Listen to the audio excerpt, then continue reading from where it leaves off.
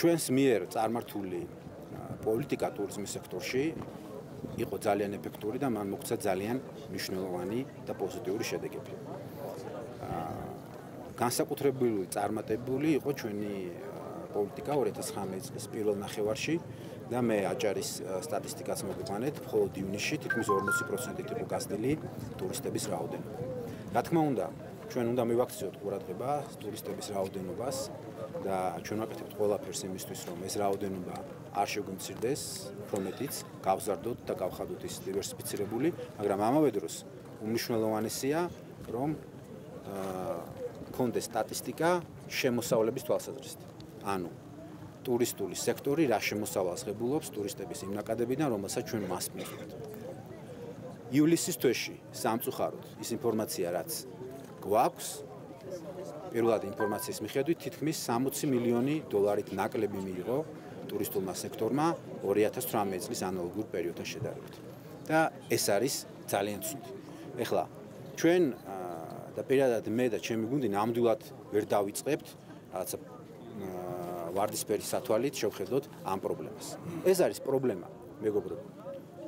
ცირა და საშუალო ბიზნესმა, სასტუმროებმა, რესტორნებმა, გიდებმა ვერ მიიღეს ის შემოსავალი, რომელსაც ისინი ელოდებოდნენ. უფრო მეტიც, შემოსავალი შეგვიმცირდა გასული წლის ანალოგურ პერიოდთან შედარებით თუ ივლისისთვის შევხედოთ.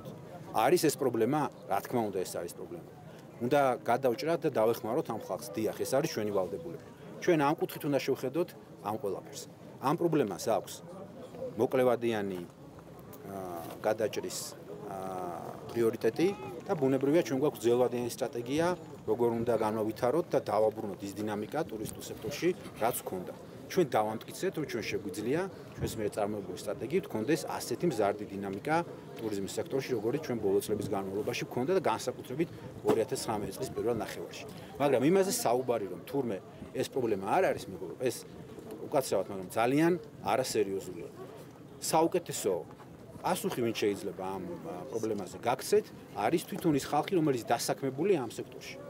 და ძალიან გთხოვთ, შეეკითხეთ მას, იქნება ეს კახეთში ჩვენი მოსახლეობა, თუ აჭარაში, თუ სხვა რეგიონებში, რომელმაც რეალურად ვერ მიიღეს ის შემოსავალი და დაკარგეს ის შემოსავლები, რომელიც მათ ჰქონდათ გათვალისწინებული. ამ ხალხს ჭირდება გვერდში დადგომა და ის ორი პროგრამა, რომელზეც მე არაერთხელ ვისაუბრე, ფიქრობთ, რომ იქნება ძალიან მნიშვნელოვანი დახმარება იმისთვის, რომ ის ფინანსური პრობლემები, რომელიც შეიძლება შეექმნას ამ სექტორში მცირე და საშუალო ბიზნეს, რომ გადალახონ საერთო ძალისხმევას. ამ თემაზე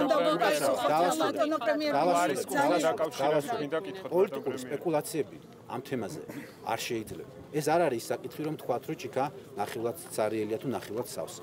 ჩვენს მოქალაქეებს შეექმნათ კონკრეტული პრობლემა ტურიზმის სექტორში წარმოქმნილი ამ ნეგატიური დინამიკის ფონზე და მას ჭირდებათ დახმარება.